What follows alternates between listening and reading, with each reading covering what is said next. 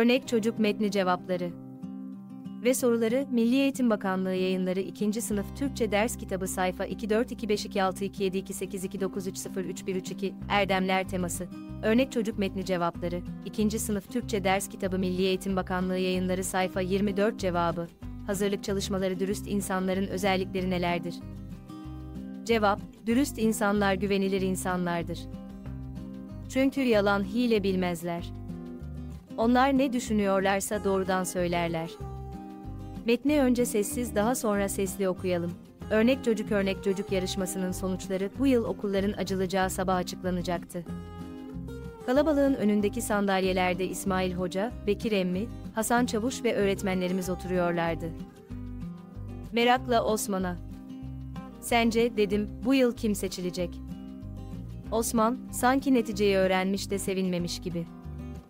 Kim seçilecek, dedi, bu senede elmacıların çocukları seçilir. Ali mi?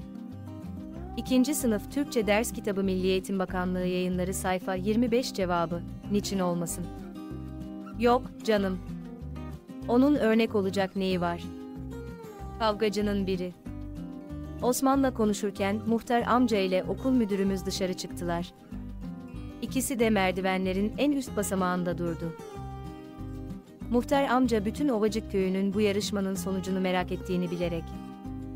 Büyüklerim, saygıdeğer anne ve babalar sevgili çocuklar, diye söze başladı. Birazdan, büyük bir merakla beklediğimiz köyümüzün bu yılki örnek çocuğu açıklanacaktır. Başta okul müdürümüz Ekrem Bey olmak üzere, muhterem hocam İsmail Efendi ve köy ihtiyar heyetiyle bir haftadır bu yarışmanın müzakeresini yaptık. İkinci sınıf Türkçe ders kitabı Milli Eğitim Bakanlığı yayınları sayfa 26 cevabı. Bu bir haftalık müzakere sonunda köy bekçimiz Adem Onbaşı'nın karşılaştığı bir olayı dinledikten sonra, bu yılki örnek çocuğu bulduğumuza karar verdik. Şimdi Adem Onbaşı'dan bize bu olayı anlatmasını istiyorum. Buyur Adem Onbaşı. Kayısı zamanıydı, dedi, kalabalık önünde konuşmamın sıkıntısı içerisinde. Kayısıların olgunlaştığı bir gündü. Dolaşmaktan yorularak Musa emminin bağındaki çubukların gölgesinde uzanmıştım. Aradan 10 ila 15 dakika geçmedi, baktım yukarıdan bir çocuk kayısı toplamaya geliyor. Hemen çubukların arasına gizlendim. Hırsızlığa gelen bu yaramazı yakalayıp babasına teslim edecektim. Kayısıların bulunduğu ağacın altına geldi. Bu gelen çocuk, topladıkları kayısıları küçük torbaya dolduruyor, hoşuna giden kayısıları da birer ikişer yiyordu. Toplama işi bitince çubuğu aldığı yere koydu. Gitmeye hazırlanıyordu ki. Dur, kaçma, dedim. Korkmuştu. Olduğu yerde kala kaldı. Kaçmadı. Çubukların arasından fırlayıp kolundan yakaladım. Sen misin yaramaz, dedim şaşkınlıkla. Ben de seni hırsız sanmıştım. Ben hırsızlık yapmıyorum ki Adem amca. Burası dedem, Gilin Bağı. Biliyorsunuz kendisi hastadır, gelemez. Beni gönderdi. Baktım gözlerinde yaşlar boncuk boncuk olmuştu. Hırsızlık yapmaya gelmediğini anlayınca korkuttuğum için üzüldüm. Peki dedim, bunların için toplamadın. Şu büyük kayısıları mı? İkinci sınıf Türkçe ders kitabı Milli Eğitim Bakanlığı yayınları sayfa 27 cevabı. Evet onları. Onlar bizim değil ki. Ama sizin ağacın altında. Tepemizdeki dağları göstererek. Baksana, dedi. Musa amcaların kayısıları onlar. Bizim dallarla karışmış. Onların kayısıları daha büyük.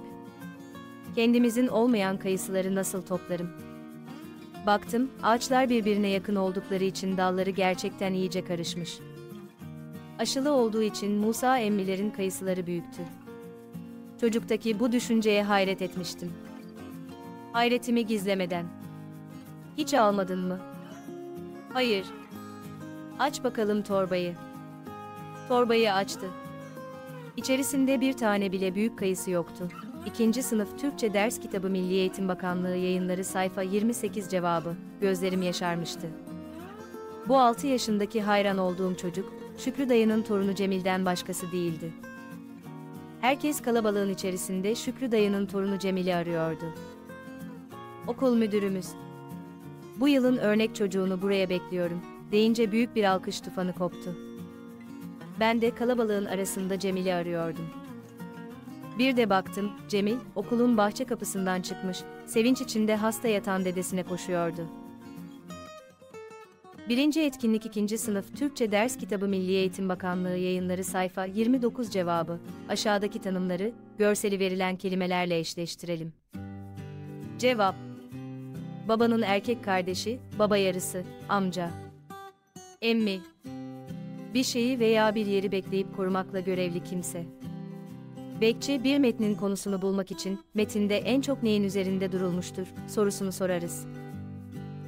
İkinci etkinlik okuduğumuz metnin konusunu yazalım. Cevap, okuduğumuz metnin konusu bir çocuğun en dürüst öğrenci seçilmesidir. Üçüncü etkinlik ikinci sınıf Türkçe ders kitabı Milli Eğitim Bakanlığı yayınları sayfa 30 cevabı. Örnek çocuk metninde geçen kahramanların adlarını yazalım. Cevap, Bekçi, Cemil, dedesi okuldaki öğretmen ve arkadaşlarıdır. Dördüncü etkinlik aşağıdaki soruları metne göre cevaplayalım. 1. Osman, bu sene kimin örnek çocuk seçileceğini düşünmüştür? Cevap, elmacıların çocukları Ali. İkinci Cemil ne toplamaya gitmiştir? Cevap, kayısı. Üçüncü köy bekçisi Adem Onbaşı, Cemilen için hayran olmuştur. Cevap, çünkü Cemil namuslu davranmış, dürüst olmuştur. Dördüncü örnek çocuk olarak seçilen öğrenci kimdir? Cevap, Cemil. Beşinci etkinlik size ait olmayan bir eşyayı bulduğunuzda ne yaparsınız? Anlatalım. Cevap, önce sahibini bulmaya çalışırdım bulamazsam da polise teslim ederim. 6. etkinlik 2. sınıf Türkçe ders kitabı Milli Eğitim Bakanlığı yayınları sayfa 31 cevabı. Birbirini takip eden cümlelerin oluşturduğu metinlere düz yazı denir. Okuduğumuz metin bir düz yazı örneğidir. Okuduğumuz metnin ilk iki cümlesini metne bakarak yazalım. Cevap, örnek çocuk yarışmasının sonuçları bu yıl okulların açılacağı sabah açıklanacaktı. Kalabalığın önündeki sandalyelerde İsmail Hoca, Bekir Emmi, Hasan Çavuş ve öğretmenlerimiz oturuyorlardı. Merakla Osman'a. 7. etkinlik anlam yönünden birbirinin tersi olan kelimeler, zıt, karşıt, anlamlı kelimeler denir. İçerisinde bir tane bile büyük kayısı yoktu. Cemil küçük kayısıları toplamıştı. İkinci sınıf Türkçe ders kitabı Milli Eğitim Bakanlığı yayınları sayfa 32 cevabı. Tabloda birbiriyle zıt anlama gelen kelimeleri örnekteki gibi aynı renge boyayalım. Cevap, ödül ceza, korku cesuru kötü diye hafif ağır geniş odar. 8. etkinlik aşağıdaki kelimelerin arasına uygun boşluklar bırakarak cümleleri yazalım. Dürüstlük insanın sahip olduğu önemli özelliklerden bir tanesidir. Dürüst insan yalan söylemez. Cevap İkinci sınıf Türkçe ders kitabı Milli Eğitim Bakanlığı yayınları Erdemler teması sayfa 242526272829303132 örnek çocuk metni etkinlik soruları ve cevapları. ile ilgili aşağıda bulunan emojileri kullanarak duygularınızı belirtebilir aynı zamanda sosyal medyada paylaşarak bizlere katkıda bulunabilirsiniz.